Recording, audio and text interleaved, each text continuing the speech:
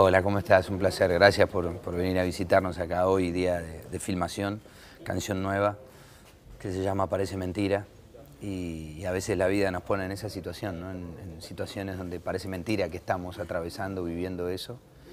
Y bueno, y la canción tiene que ver con, las relaciones humanas, este, con, los, con los principios y con los fines de las relaciones y cómo, cómo terminan esas relaciones. ¿La escribiste hace poquito?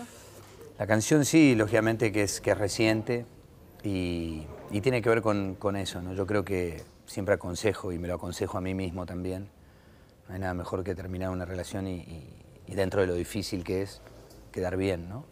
Sobre todo cuando la, vida continúa, eh, cuando hay gente de por medio, así que es una canción este, sentida, ¿no? Naturalmente cambias la educación, ¿no? Hoy es mucho, hay mucho más diálogo con los hijos que antes.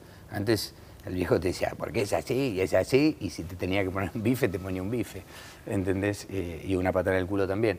Eh, hoy eh, las cosas cambiaron, entonces los chicos exigen otro, otro diálogo, entonces lo que decís es lo que tenés que hacer, ¿no? Del dicho al hecho, ellos están mirando a ver si lo que vos decís es realmente lo que haces, entonces que eso tenga credibilidad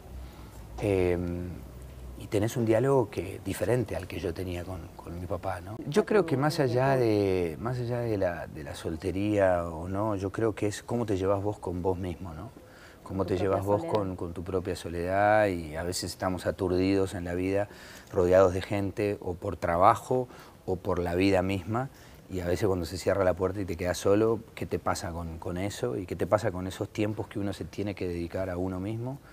Desde leer un libro, desde em, tocar la guitarra, desde no hacer nada, aprender a no hacer nada también, porque a veces uno vive con un vértigo y una ansiedad y decís, no, para, para un poquito. Y, bueno, todas esas cosas hay que aprender a acomodarlas, ¿no? A disfrutar de uno mismo también. Exactamente, aprender a disfrutar de uno mismo.